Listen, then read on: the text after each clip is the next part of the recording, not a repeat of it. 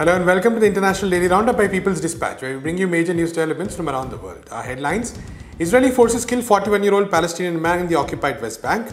US drone program whistleblower Daniel Hale sentenced to 45 months in prison. Bolivian Attorney General concludes that there was no electoral fraud in 2019. And in our video section, we take a look at the significance of the Nord Stream 2 pipeline project.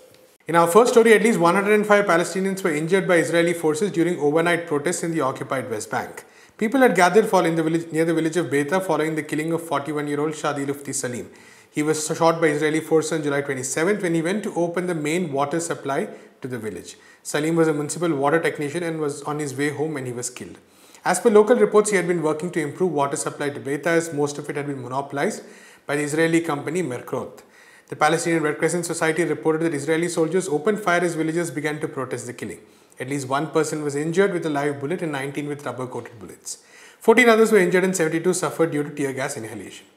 The violence on Tuesday followed just days after the killing of 17 year old Mohammad Munir al Tamimi. He was shot by Israeli forces during an anti settlement protest in Beita last week. Palestinians in the area have been fighting against an illegal Israeli settlement on the Jabal Sabeh mountain.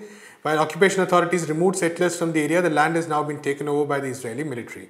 17 Palestinian families who relied on the land to grow olive trees will lose their livelihood. People in the area continue to hold protests and what are called night confusion activities against the occupation. Hundreds of people had gathered in Beita for another protest on July 23rd. The Red Crescent reported that 320 people had been injured, including 21 by live rounds by Israeli occupation forces. In our next story, former US intelligence officer and whistleblower Daniel Hale has been sentenced to 45 months in prison. He was a signals analyst in the US Air Force and was deployed to Afghanistan's Bagram Air Base in 2012. After being discharged, he worked as a defense contractor at the National Geospatial Intelligence Agency. It was here that Hale printed out several documents and shared 17 of them with a journalist for The Intercept. These revealed how targets were selected for US drone strikes.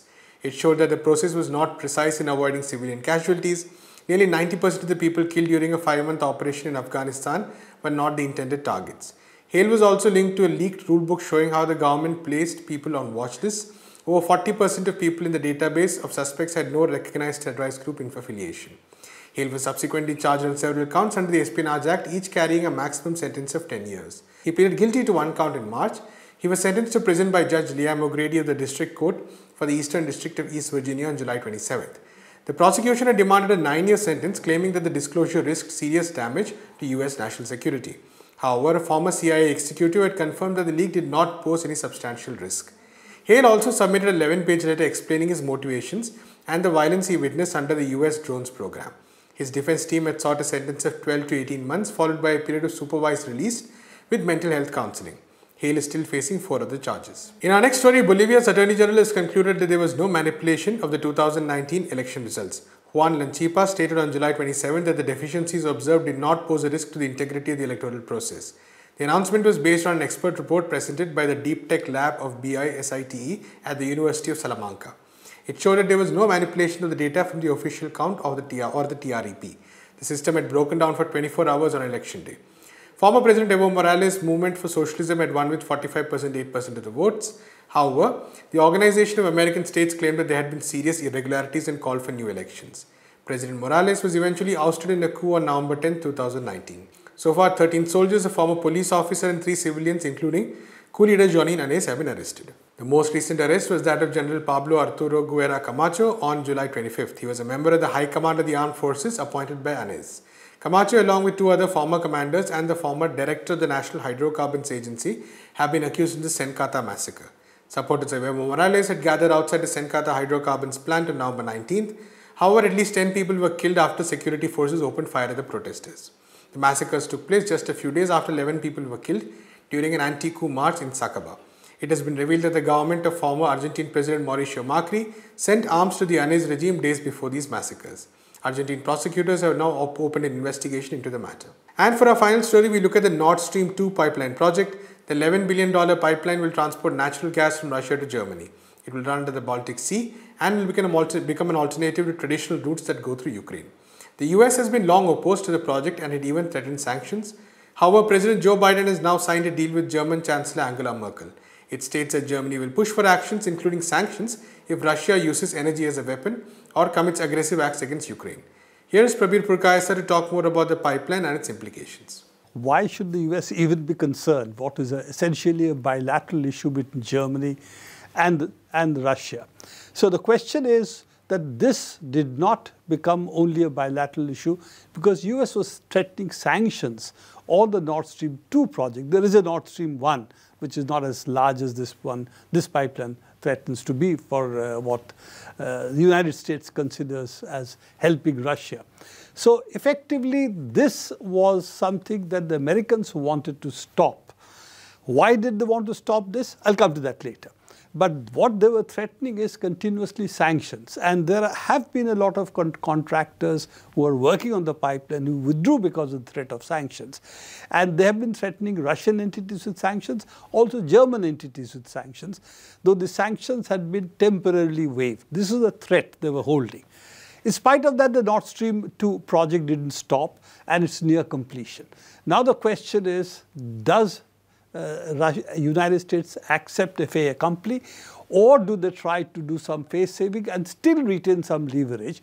What they seem to have done is done face saving in the sense they have withdrawn the threat of sanctions from Germany. That was the real threat for Germany. And Germany didn't buckle under. Angela Merkel staked a lot on this issue because she thinks that it's important for Germany's energy independence to have this pipeline. And the second thing is that she has conceded, Germany has conceded that this pipeline will not be used to stop Ukraine supplies or Russian supplies through Ukraine.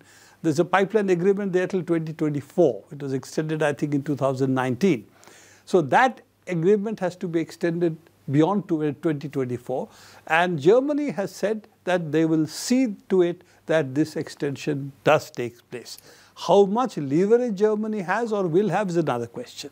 But that is a promise they have made that they will keep Ukraine in the play, so to say, in play, so to say, in this gas trade which uh, Russia does with European uh, Union on, and other countries in Europe. So that's the big issue. So one is, of course, what did the US gain out of it? US continues, therefore, to have some leverage in German-Russia relationship. And that will also mean with Ukraine coming into uh, the picture. Ukraine has always been the picture. In fact, Ukraine has always been strongly against Nord Stream 2 because then they lose their leverage vis-a-vis -vis Russia because a large part of the European supplies were being sent through the Ukrainian pipeline. And Ukraine has stopped it a number of occasions, has even, uh, as it's claimed by Russia, stolen gas from it. They have, by virtue of sitting in the middle, they have extracted their pound of flesh periodically on this.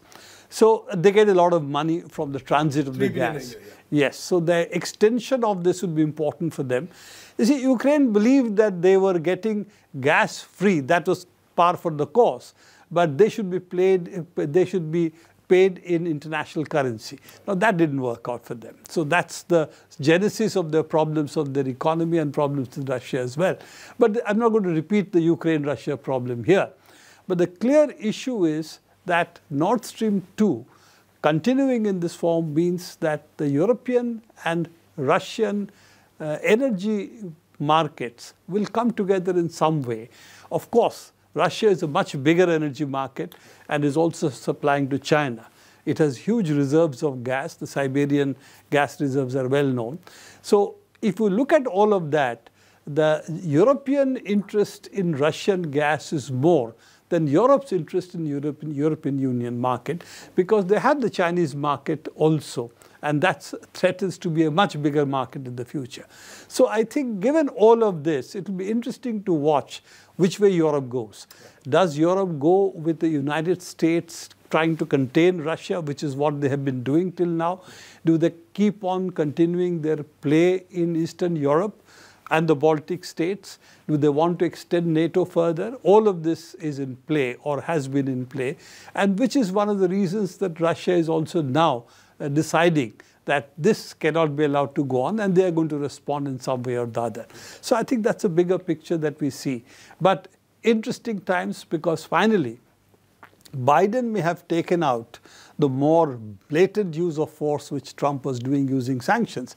But the underlying policy really has not changed, which is to keep Europe on the boil, keep Eastern Europe and the Baltic states in play against Russia, and use the sanctions card against Russia continuously. I think that still remains. That's all we have time for today. We'll be back tomorrow with more news from around the world. Until then, keep watching People's Dispatch.